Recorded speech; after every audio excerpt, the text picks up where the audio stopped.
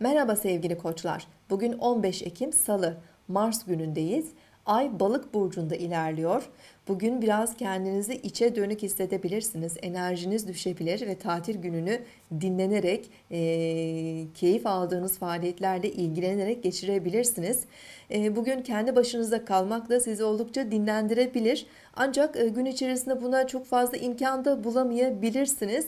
O nedenle e, içsel dengenizi korumak için e, çevrenizdeki kişilere de uyum göstermeye çalışın.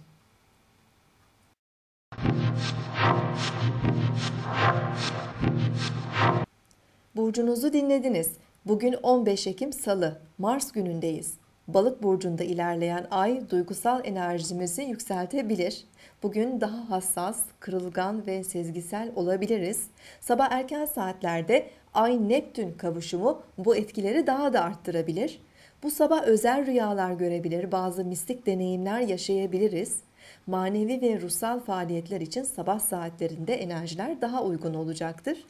Ancak zihinsel olarak dalgın ve değişken olabileceğimiz için detay gerektiren işlere konsantre olmakta da zorlanabiliriz bugün.